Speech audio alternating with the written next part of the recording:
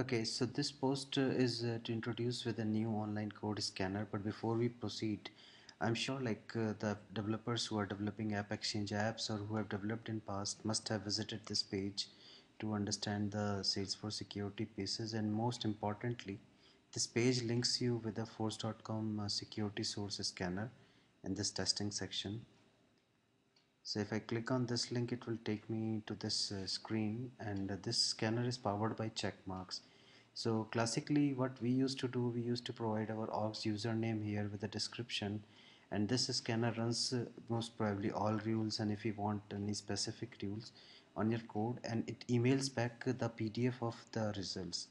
That PDF basically lists out the errors the security related issues and the code snippets uh, highlighting uh, the error location and all those details so this worked well but uh, the only problem is uh, you have to wait for the email and that uh, PDF sometimes comes sooner sometimes come later and you have no tracking capabilities.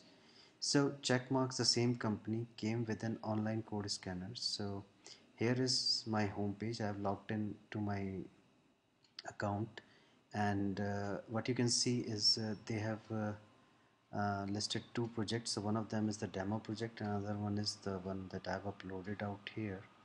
The important improvement they have done here is they let you upload or connect your source code via this uh, wizard here that we'll see next.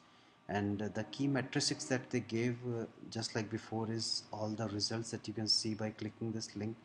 But the best part is you can track the progress uh, or the improvement uh, of your project from security standpoint. So if you see like this demo project it's uploaded a couple of times at different times. And initially there was a hundred percent security risk because there are a lot of high issues there are medium issues and there are low issues. But over the time the project has improved like the risk level this column it's reduced from 100 to 79 and then finally to 4% with 8 low warnings only.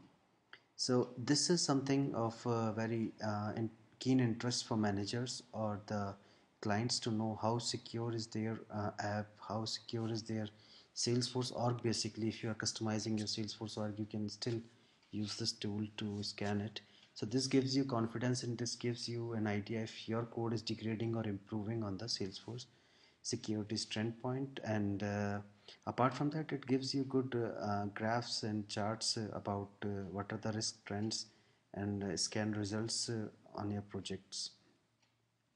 More on this to come in my next video. Thanks